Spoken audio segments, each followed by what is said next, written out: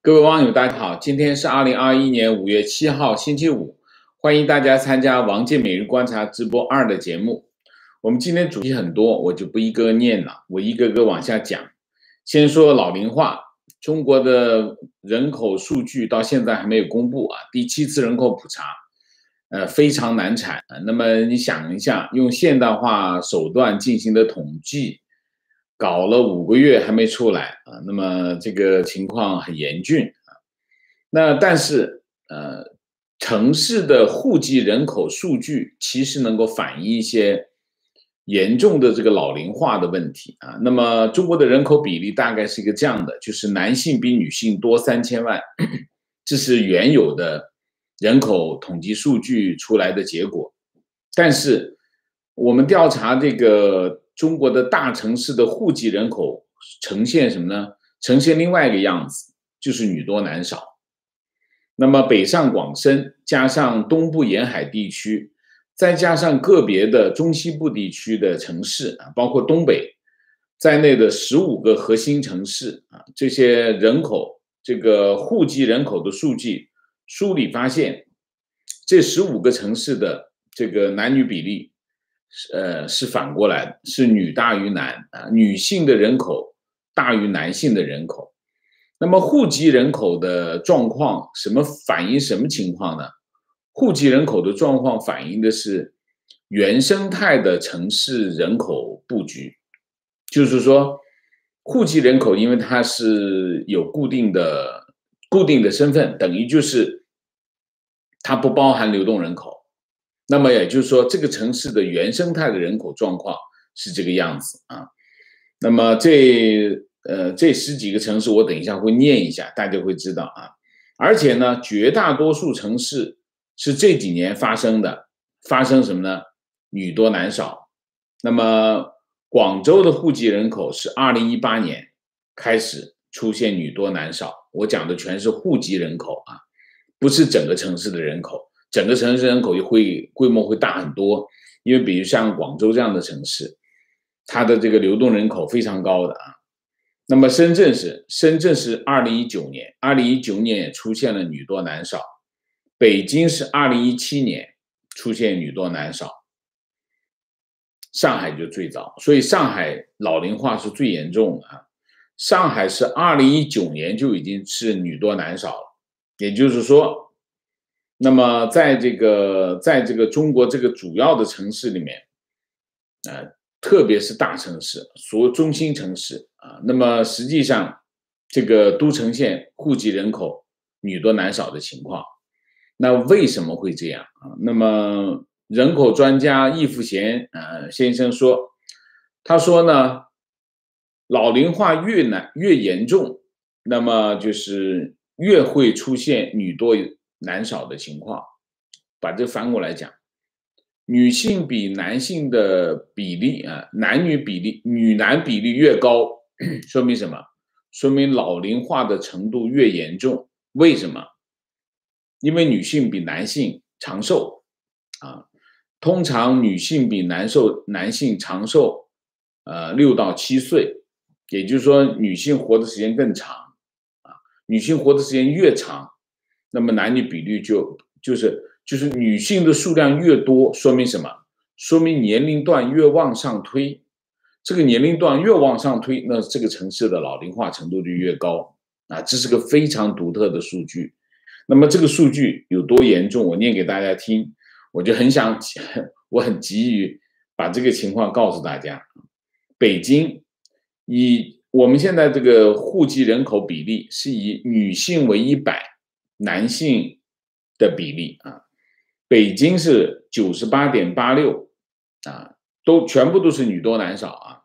北京九十八点八六啊，那么上海九十七点八七，广州九十九点一九，深圳九十九点六八啊。你把这个数据一比，你就看得出来，上海的老龄化程度是很严重的啊。就我说的是。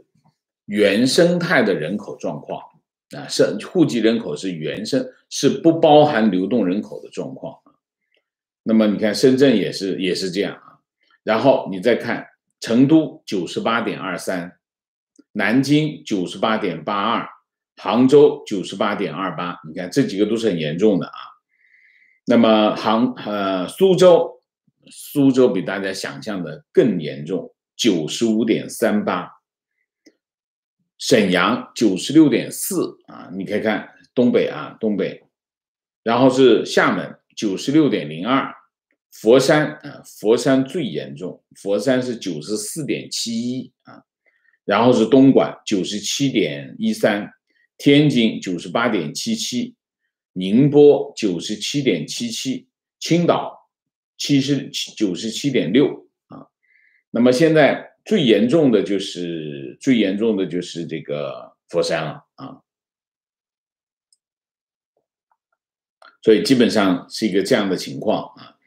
那么说明什么？说明中国的老龄化的这个程度比我们想象的要严重的多啊！当然，现在其实最严重的是哪个城市？如果如果我们把这个视野拉开一点，其实最严重的是香港。香港的女多男少的情况最严重啊，最严重，那就是两个原因：第一个就是少子化，另外一个就是老龄化啊，这是一个。那我们今天讲第二个，就是世卫组织批准了国药，嗯，国药疫苗啊。那么，世界卫生组织五月七号正式批准中国国药集团疫苗正呃紧急使用授权，这就意味着国药集团的疫苗被纳入世界卫生组织的国际疫苗分享计划，叫 COVAX 啊，COVAX 可以供全球使用啊。世界卫生组织负责药品获取与医疗产产品的助理总干事西芒说：“国药疫苗的加入能够加快那些寻求疫苗的国家能够尽快找到疫苗。那么，世界卫生组织紧急使用清单叫 Emergency Use Listing 啊，叫 EUL，是这个进入这个清单是纳入国际疫苗分享计划机制的前提条件啊。”那么目前世卫组织紧急使用清单上包括辉瑞、阿斯利康、强生、莫德纳和这个印度血清研究所的疫苗啊，那这几种，那么被批准进入 EUA、EUL 之前，世卫组织是要评估这个疫苗的这个质量、安全性、有效性以及风险管控计划，还包括运输、储存、对温度的要求等。那么，世界卫生组织对国药疫苗的评估包括生产设施现场的检查。那么，中国国药的疫苗，呃，称为呃，称为是属于这个灭活疫苗，需要接种两剂，通常是长啊常规低温保存，就是放在冰箱里啊，那是属于便于运输、储存和保管。那么现在全世界有三十多个国家批准使用，已经批准这些国家已经批准使用国药疫苗的紧急授授权，包括这个阿联酋啊、巴林啊、匈牙利啊、这个塞尔维亚。那当然没有，基本上没有什么，除了匈牙利是欧盟国家以外，其他都不是发达国家啊。那么四月二十九号，世界卫生组织免疫战略咨询专家小组。叫 Sage S A G E 啊，公布了对国药北京所疫苗的评价结果，那么首次披露了国药疫苗的相关数据啊。那么这个疫苗是二零二零年七月二十二号在中国紧急启动使用，在十二月三十号获得附带条件上市，那么直至二零二零年的十二月三十一号，那么。国药中生北京所，呃，新冠疫苗在中国中国共接种了五百九十万人，报告报告一一千四百五十三例不良反应啊，是有不良反应啊，就是不报道啊，谁说没反应？一千四百五十三例不良反应，发生率为十万剂二十四点六例，那么不良反应事件中。有一百零八例涉及注射部位的反应，八例归为严重啊。那么二零二例就是两百零二例出现发热，八十六例体温达到三十八点六度以上，另外还有十一例面部神经状况，但均认为与疫苗无关啊。那么，那么这个评价的报告有四点，我念给大家听啊。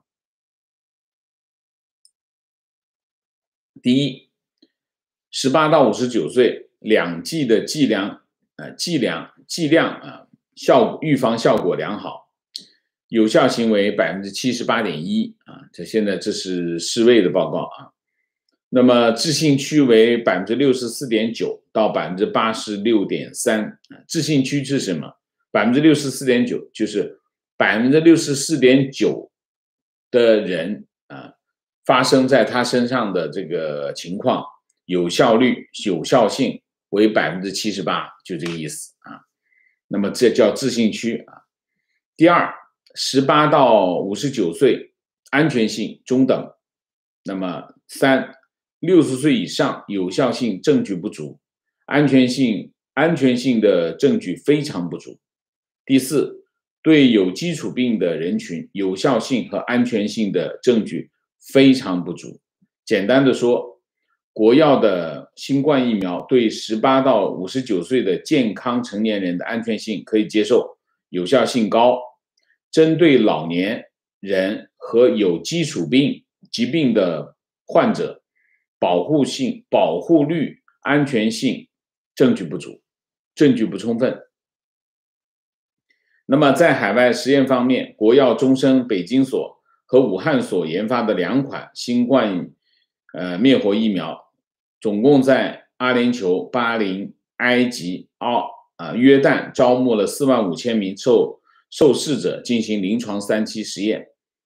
这是国药国药疫苗的情况。那么另外，欧洲一一欧洲药品管理局 EMA 五月四号宣布，开始评估中国产的科兴疫苗的有效性和安全性啊。这是快速批准这个疫苗的上市的第一步，然后这个欧洲药品管理局说，他们的评估评审程序是建立在之前的实验室以及临床实验数据的基础上，采用滚动评估的方式，可以可以随时得到最新的数据。那么，欧洲药品管理局已经批准了四款新冠疫苗的紧急使用，他们是。他们都是西方国家的啊，一一个就是 BioNTech 和辉瑞啊，一个是 Moderna，一个是阿斯利康，一个是强生啊。那么药品欧洲药品管理局说，科兴疫苗目前还没有还没有提出啊，还没有提交上市的申请啊，就是这就是国药啊，国药的情况啊。那现在国药是。呃，世卫组织已经批准紧急使用啊，进入的这个清单啊。那么世卫组织批准紧急使用啊，这个有最大的影响是什么？最大的影响其实不是进入那个清单，因为中国想想这个做外交的疫苗外交的这些国家都基本上已经批准，所以对他来说影响不大。他他能去的都去了。他不能去的呢，你这个世卫组织批准了也去不了，基本上是这种情况。对他影响最大的是什么？是这个疫苗护照，这个疫苗护照会有影响，因为未来如果啊，大家准在现在其实要考虑的是什么？就是开放的问题，因为现在开始大家都在打，打的差不多的时候就要开始开放，开放的情况，那以什么为标准？可能性最大的是什么？可能性最大就是用世卫组织批准作为作为标准，作为疫苗护照的标准。那么你认认认可怎么认可？认可哪一个哪个？可能是就是世卫组织，这个影响是最大的。理论上应该是这样，我估计哈，呃，其他的就影响不是特别大啊。好，我们讲第三个，内蒙反贪。内蒙反贪倒查二十年，追缴四百亿，法办一零一百零一人。四月二十号，内蒙古召开煤炭领域违规违法问题专项整治警示教育会。啊，这种活动呢，就是搞运动啊。搞运动的特点是什么？中共搞运动特点就是有一个共性，就是一直以来，就是从中共从中共所谓解放区开始，就是开批斗会，开批斗会一定要拉人上去挂牌子啊。那么这个也不这也不例外啊，所以叫警示教育会，其实就是批斗大会啊。这个批斗大会呢，内蒙古的书记啊叫石泰峰。石泰峰就出来讲话，说煤炭资源领域违规违法问题存量之大、流毒之广、危害之重、积弊之深，触目惊心啊！然后就是深刻揭示了滋生贪腐乱象的思想根子和政治根源！然后就放放这个教育片啊，教育片，教育片里面会场和分会场有一万一千名官员看。看这个教育片，然后这个教育片呢，就就放什么，都说要批斗啊。那当然现在已经跟以前不一样，挂牌子批斗不一样了。现在干什么？现在就让这官员去忏悔啊，就是视频录像忏悔，这跟挂牌子认罪是一样的。那么出来挂牌挂牌子忏悔的有谁呢？有这个自然呃内蒙自然资源厅副厅长王杰，然后是这个鄂尔多斯人大副呃人大常委会副主任啊刘刘桂花啊，锡林郭勒盟这个乌珠穆沁旗原旗委书记海明，鄂尔多斯市啊煤炭局局长郭成信。然后是内蒙古自治区原副主席啊，副主席、副省长白向群，锡林郭勒锡林郭勒盟统计局局长白全，统计局也这么大权力啊。他说的一句话很搞笑啊，这个白全说，他说我曾经羡慕老板，这个住豪宅、开豪车，现在最羡羡慕的是看守所打扫卫生的人那么自由啊，这很搞笑。然后现在的情况是什么？这项专制专项治理从去年二月份开始，去年二月二零二零年二月份到现在十四个月，成果是什么啊？这这个专项整治的特点就是倒查二十年，啊，倒查二十年。那么倒查二十年，结果立案立了多少案？六百九十四个案。涉及了九百八十二名官员，其中厅局级干部、厅局级干部六十二人，县处级干部两百二十三人。我看这个内蒙古也差不多该该瘫瘫痪了啊！结案五百四十一件，党纪政纪处分七百零二人，组织处理八百九十人，移送司法机关一百零一人，然后就是。查实有一千一一千五百一十三个煤炭项目有问题，那么其中涉及四百四十五个造成了国有资产损失，然后追缴这个煤涉煤损失四百亿，厉害吧？这个反贪就能反出钱来啊！然后其中 最搞笑的，这里面还有个搞笑的事儿。有一名官员已经去世了，他现在是倒查二十年。倒查二十年什么概念？就是很多官员已经退休了，继续查，不仅查还抓还审。那么还有一个死了的官员也立案也查，追回来一亿多损失，还有两亿在追缴啊！所以你看这个内蒙的官场有多黑啊，黑成这样。那么这个我看一下哈，去年十月二十七号，四名，他们都是四个五个四个五个一起宣布啊，四个四名正厅级，十月二十七号，四名正厅级官员，十二月四号，五名官员都是官员，都是厅级官员。二零一零年，二零二一年一月十六号，四名官员又是同时落马，嗯，就是。然后是二零二一年一月十五号，三人同双开啊，就是这样。那么今年的一月二十六号，内蒙开人大会议，内蒙自治区的主席叫布小林，布小林是布赫的孙女啊。那他去念读念这个政府工作报告，念到一半晕倒啊。这个，然后这次也没有看到他的名字出来啊。嗯，大概就是这样啊。现在就是，呃，今年两会的时候啊，这个习近平在在这个会上说了一句两句狠话。今年三月五号，习近平在这个在参加这个内蒙古的这个代表团的会议的时候说了两句话。第一句话叫“利用煤炭搞腐败，狐狸尾巴迟早要露出来的，露出来以后就要就打啊。”这个这个小学生还是比较狠啊，说话比较直啊。那么还说另另外一句叫：一方面对增量腐败坚决零容忍，另外一方面对存量腐败只要揭露出来也是零容忍。然后反腐败永远在路上，就是这样啊。那么这是内蒙，然后就是三大三大电信公司，中移动。中国电信、联通啊，分别发公告，他们这三家公司一月二十号向这个纽约证券交易所提出书面要求，要求这个证券交易所董事会复核复核公司退市的要决定。那么五月五月六号，纽约证券交易所下辖的专门委员会维持这个决定，也就是说，中国三大。国有电信公司啊，这个中移动、中电信、联通即将退市。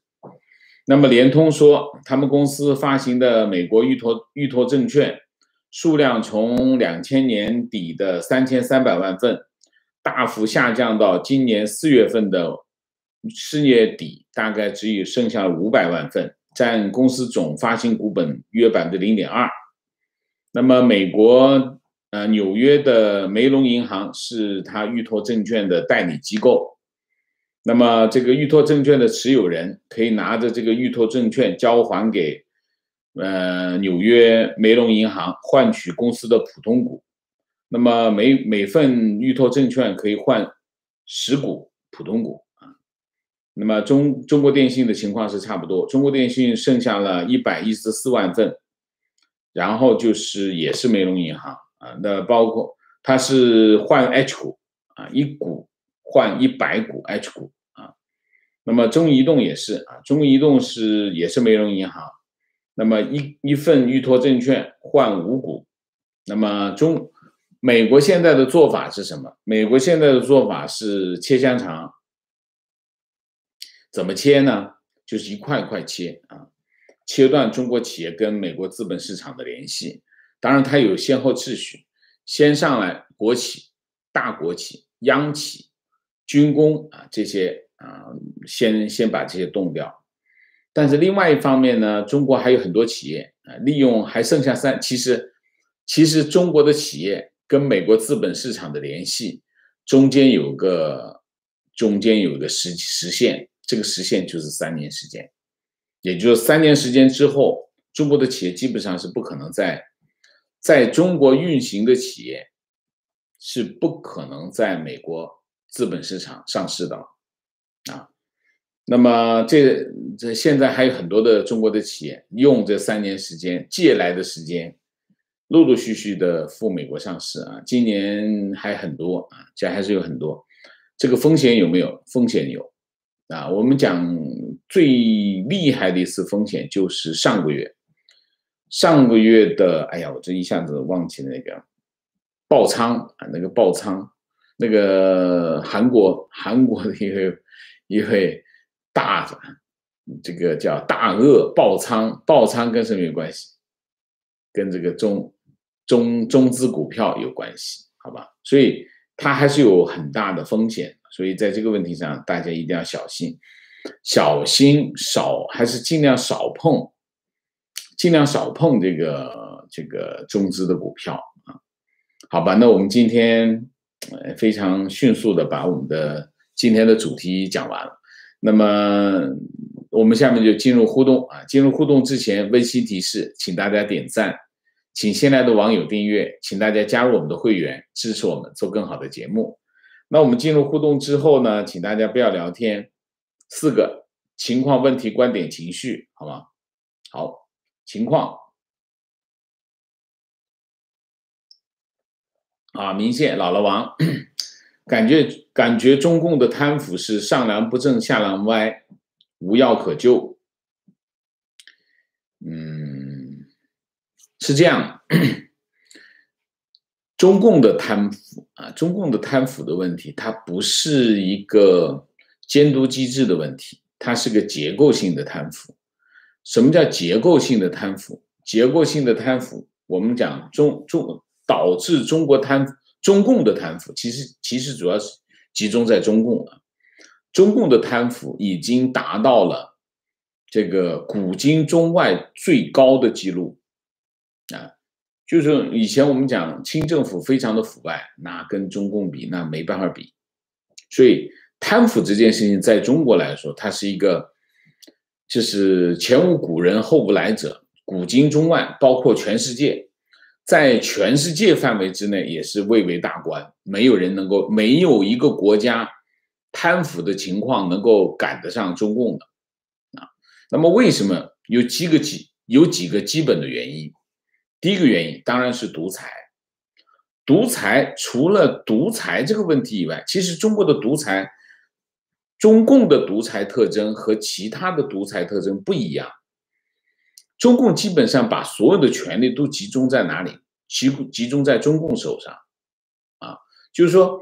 你政府也好，你这个立法机关也好，你司法机关也好，所有的权利都在中共手里。所以他为什么会贪贪腐的原因，是因为他连他独裁的政权的内部的制约机制都不存在。这就这就是个很，这就是所谓我们讲结构性的问题，指的是这个。就是他垄断了这个权利，你垄断这权利，你你也想办法在你内部形成一个制衡，这个减少这种贪腐的情况。不，他内部也没有，他内部没有制衡机制，所以基本上你可以看，中共的所有的机构，中共所有的机构都是一支笔，就是最大的那个一支笔，除非呢，他的他的书记跟正职，我们叫正职。他们互相不和，或者是他们在争权夺利。通常来说，书记更大，但是有的时候呢，正直的权力也会很大。所以他们之间在争斗的时候，那权力平分一样会很腐败。所以这是第一个，这是结构性。第二个，第二个结构性的反映在哪里？媒体，媒体本来是有监督机制啊，媒体对这个社会进行监督。但是中国的媒体已经变成了什么宣传机器？它没有监督机监督功能。那么中间在有一段时间，改革开放之后，九十年代到两千年这段时间啊，中国的媒体发展发展兴旺起来，出现了一些监督的现象，有一些有良知的媒体人做一些这个动作，但是很快被消灭掉，很快被中共消灭掉。两千年之后，基本上已经，特别是习近平上台之后，这些所有报社的调查部、调查组全部撤销啊，就是这样。所以中国的媒体就失去了监督机制，这是第二块。这就所以呢，结构性的问题就就没有监督机制了，这是第二个。第三个，司法，中国的司法比比政府还腐败，所以。另外一个，我们就要通过司法能够对腐败进行治理，功能有没有？所以它的结构性的腐败导致中国出现了什么？中国出现了史上古今中外最严重的贪腐现象，在中国啊，在当今中国，所以中国一直在吹牛说说它会大国崛起。你想一下，大国崛起靠的是什么？其实最根本，大国崛起靠的是人，靠的是人。一个国家靠的是人，那么这个国家主要的官员都在贪腐，特别是我们经常讲最严重的是什么？其实贪腐最严重的部位在哪里？军队，军队的贪腐是最严重啊！军队的官就官职明码标价啊，有价格的啊。那大军区司令员多少钱？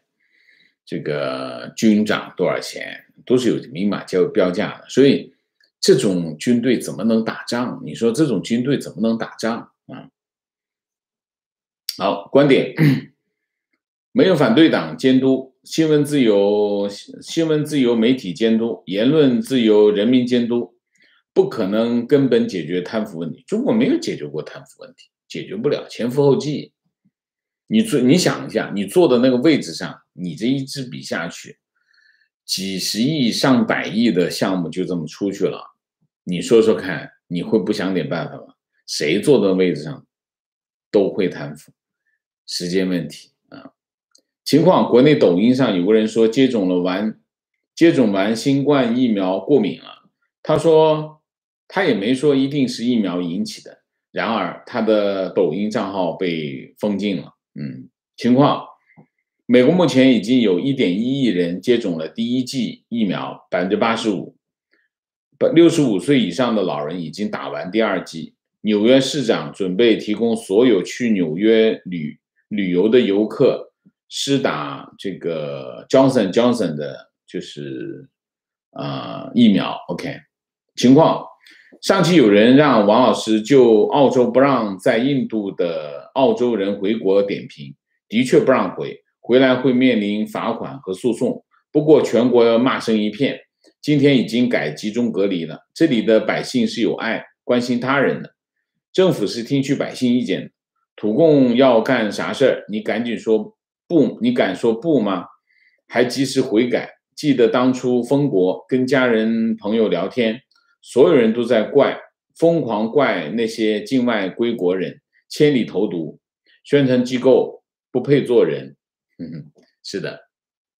提问：在计划生育时代，经常听说因为重男轻女观点杀掉很多女婴，这是真的吗？是真的。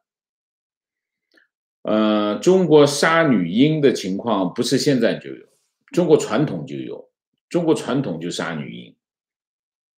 啊，就是这已经，这是中国的传统，这是非常 dirty 的传统啊。这第一个，第二个，计划生育之后杀女婴的现象更严重了，啊，就加剧了杀女婴的这种行为，所以非常的可耻啊。那么，中国是否经历了长时间男多女少的情况，现在变得女多男少？老师刚刚讲的老龄化是否其中一个原因？呃，中国整体上来说是男多女少，男性多三千万啊。从全国的人口比例来看是这样。那么，但是我刚才讲的是户籍人口，不是讲的整个城市啊。你比如说深圳，深圳户籍人口可能只不到一千万，那么这个户籍人口是原生态的本地城市的人口。那么它反映了本地城市在没有外来人口的情况下，它是一个什么样的状态？那现在我们看到的情况就是，如果没有本地本地没有外来人口的话，深圳这个城市也存在老龄化的问题。好在现在深圳有很多的外来人口，一千多万外来人外来人口，所以它的整体的人口形势没有那么严重的老龄化。原因就这这个啊，网友新生儿人口比例和现存人口比例是不一样的，女性寿命普遍较长，导致呃人口女多男少，但是新生人口是男多女少，非常对。为什么女多男就是为什么老龄化越严重，那么女性的人口比例越高呢？原因是女性长寿。比男性长寿六到七岁，长寿什么概念？长寿就当你年龄越，你想一下嘛，女的活得比男的长，那你越越往上的时候，是不是男的就慢慢死掉了，剩下都是女性，对不对？就是这样子，就是说，当你发现这个城市女性比率高过男性的时候，说明什么？说明这个城市的人口年龄已经偏大了，这就是老龄老龄化啊。观点与回应，替墙内政府工作的小白留言：上海大上海加大外牌限制，就是回应您关于电动车销售的问题。如果不能直接免费获得沪牌，电动车根本卖不动。深圳也是如此，目前只有限制外牌力度加大的几个城市，电动车销售旺盛。另外，上海牌、上海车牌拍卖收入完全市政府支配，也没有地税的，现在也是一项很重要的收入。最后，他们真的不在乎外来办事的人开车方不方便这件事情，这也是一种权力的傲慢。上海一年拍卖近四万张车牌，每张近十万。钱怎么用，完全不交代。OK，OK，非常非常好的一个回应，理解了，明白了，谢谢，谢谢啊，四十亿啊，四十亿啊。观点：贪腐、贪污腐化，国企资源倒腾到自己手里，发明了各种手段，大工程、大面子工程，还有一带一路，基本上就是国企。国企的钱、国家的资源倒腾到家族手里的过程，“一带一路”都是腐败，非常正确。“一带一路”的腐败非常的严重，而且谁都看不到。我跟你讲，还有一个更搞笑的，对外援助都有腐败，都有回扣。外交部大傻逼到处撒钱。你以为光他光撒钱？为什么外交部那么喜欢去支援第三世界国家，能够拿回扣的？啊，其实你想一下，中国已经腐败到一个这样的地步，就连这种事情他都要腐败，而且腐败到什么地步都会穿帮。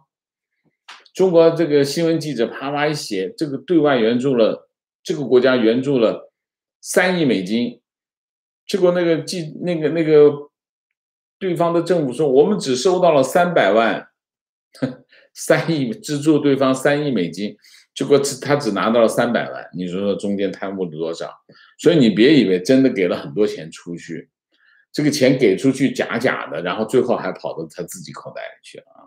所以中国的腐败已经无孔不入，每一个环节环，我跟你讲，中国腐败到什么地步哈？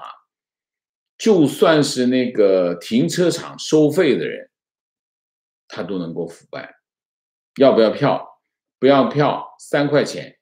要票五块钱，你是要票还是不要票？不要票是吧？好，你给他三块钱，他就放你走了。这三块钱装到口袋里。就说中国已经腐败到连停车场收费的这个人都会腐败，那你想腐败到了什么地步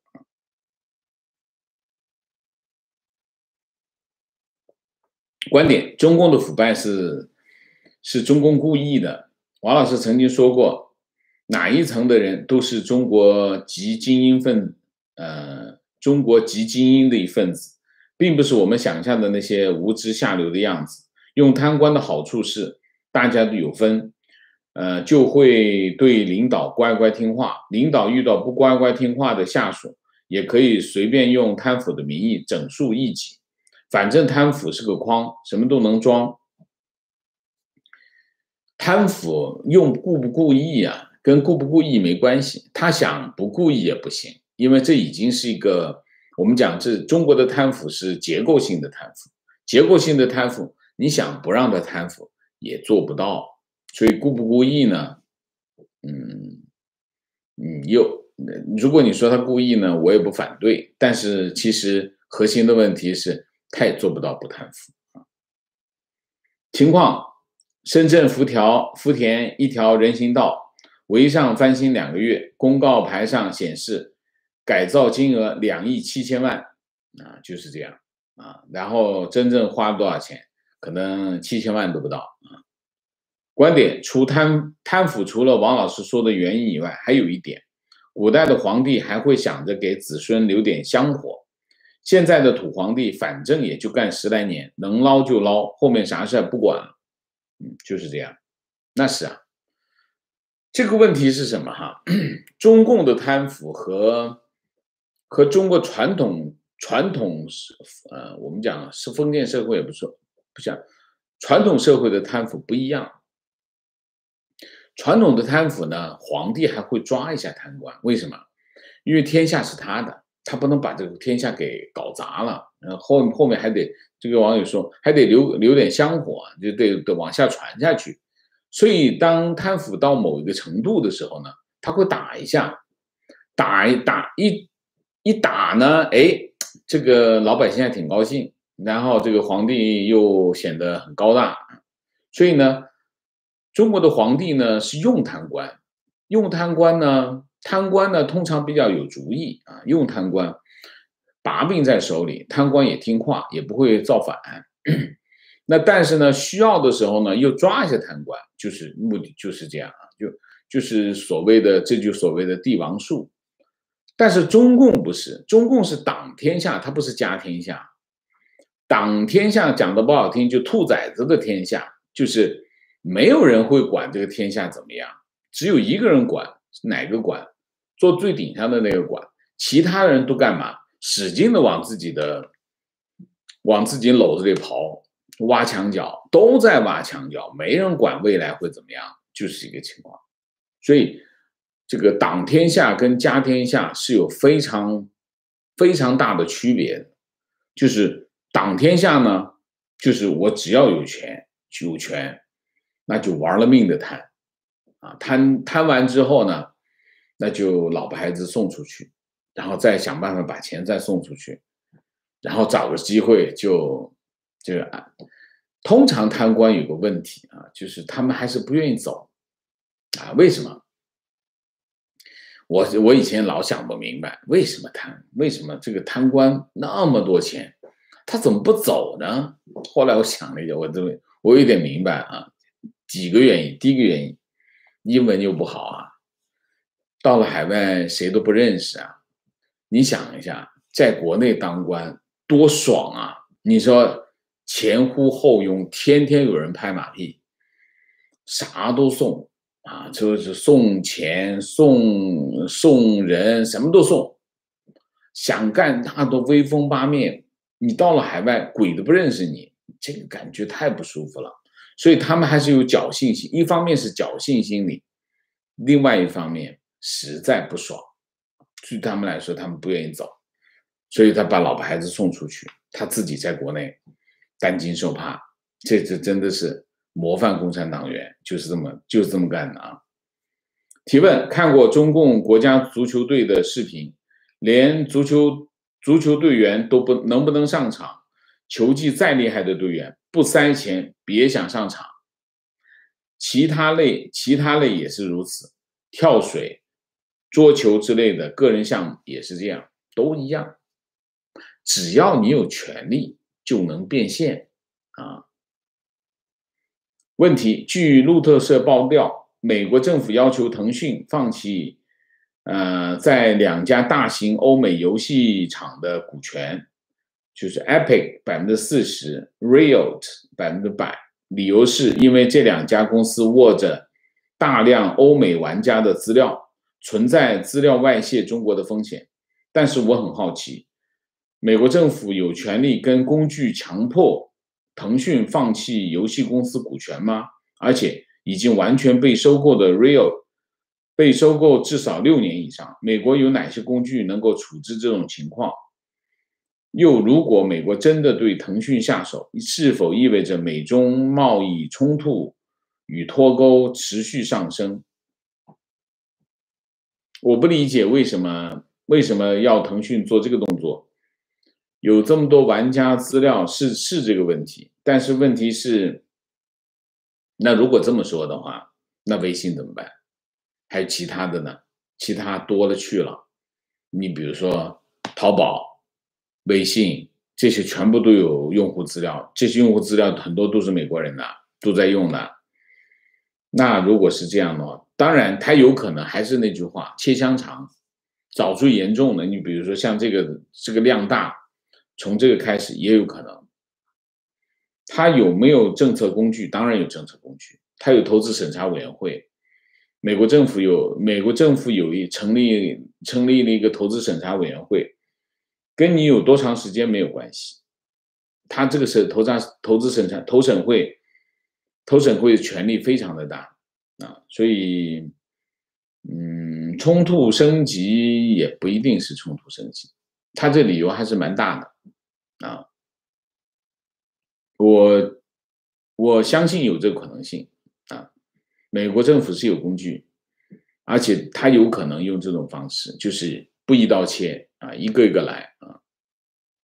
情况最近在推特、Reddit 看到很多各国年轻人在跟踪中国火箭残骸掉落地球的事，有些人开始骂中国，我不禁联想到最近亚洲人受袭击的情况，希望堕落时没有任何伤亡，以免被用来煽动更多的仇亚情绪。不知道国内的人知不知道这件事情？嗯。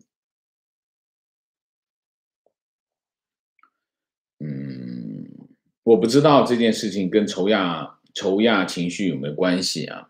仇亚情绪，他们真的分不清楚哪些是日本人，哪些是中国人，哪些是韩国人，分不清楚的，所以他们只能仇亚。但是，嗯，怎么说呢？我当然我也不希望这个残骸掉到出现人民伤亡啊，我也不希望。但是。嗯，大家可以通过全世界人民可以通过这件事情看到什么？看到中国就是一个不负责任的政府，因为从我印象中是从美国在二零一几年，我讲二零一几年我忘记了，就是二有一年美国的火箭也是掉下来，出现了人民伤亡，然后从那天那年之后。所有国家的这个火这个火箭，它都有一个装置，想办法让它再掉到海里去，会指挥它掉到海里去。对，这个就就是在它火箭的设计的时候就做好了这个设计，要把这件事情放进去。那么中国没有，中国所有的火箭都是没有的，啊，中国所有的火箭都是没有引导它掉到海洋上去的。通常都是南南太平洋那边有又没有人生居住，所以通常是往南南太平洋啊坠落啊。情况今日曲育今日曲育协会发布倡议反三俗，引起了大量网民声讨，矛头直指姜昆，说他妒忌德云社啊。但因为常听王老师节目，让我觉得非常可笑。这不是曲协突然抽风，一定是为了迎合上级的意图，觉得他们对此很敏感。但作为行政行政官方机构，竟然有法不依，用一个倡议来命令发布，可笑至极。嗯，姜昆，姜昆当官很有当官的样子啊。提问：关于落不落？落后不一定挨打，犯贱才会挨挨打。类似的观点还有另外一种表达。前几年在中国非常火的科幻小说《三体》里面有一句话：“弱小和无知不是生存的障碍，傲慢才是。”我感觉《三体》在中国精英阶层里被广泛认同的一部作品，已经远远超越科幻小说的范畴，有点像一本哲学著作。不知道王老师看过没有？对他什么评价？把一本小说写成了哲学著作有什么好看的？我不知道有什么好看，啊，我没有看过。观点：我读《三体》最疑惑的就是其中个人英雄主义，只有一个人能够成为救世主，不相信合作团队，这跟我看到的科学发展很不一样，都是团队作业，后人站在前人的肩膀上。疫苗的快速研发就是人类科学进步的例子。靠的就是很多科学家长期努力的积累，而不是个人。嗯，好吧。观点：我我国内看病没有医保，看病付现金，医院会把一部分现金收费，截留一部分给大家分，腐败无处无处不在。请问，请呃问题，请问陕西榆林、鄂尔多斯这种完全靠靠能源为经济支柱的小地方，以后何去何从？会不会像像东北鹤岗一样，鹤岗啊、复兴啊，都你可以看一下它未来是怎么样。对呀，你现在鄂尔多斯的鬼城大家没看过吧？看过没有啊？鄂尔多斯的鬼城就是就是买了房子没人住的啊。嗯，这种城市别指望跑到那去炒房了啊。提问：如何看待一九七零后革委会的职能？革委会的职能，革委会那个时候革委会就是政府嘛，代替政府，但是它不完全代替。但基本上是代替政府的啊。情况刚看见消息，世卫批准国药紧急使用许可。请问王老师，这什么情况？世卫不看数据了吗？印象中好像没有任何关于国药疫苗准确公开数据的新闻报道。嗯，你是刚刚上来吧？我们已经做过了啊。那当然是国药疫苗要要申请这个世卫批准，他当然提供数据给他啊。他提供的数据，呃，世卫四月二十九号啊，把这份报告公开了，他对这个评估的报，对国药疫苗的公开的报告。那么这个公开的报告实际上就把国药的数据公开了，啊，就是这样的情况。所以我们现在可以看得很清楚，就是国药疫苗的数据是怎样。那么从目前来看，现在从中国这么多疫苗当中，只有国药的数据是公开的，啊，所以如果你问我选哪个，嗯，如果在国内要打疫苗的话，选哪个疫苗？排第一的是复星的疫苗，那是 BioNTech 的疫苗，你先排第一。如果你能够选的话，你就选那个疫苗打，这是第一个。第二个，我打的就是那个。第二个就是国药。国药至少现在世卫已经确认它安全了，你可以打啊。情绪看王老师节目一年多了，祝贺王老师订阅超过二十五万，非常了不起。肉身国内艰难求生，上下上有老下有小，不敢发言，不敢点赞，害怕被网警追踪，只能只能心里默默支持，借用叉叉一句话。望王老师不忘初心，砥砺前行。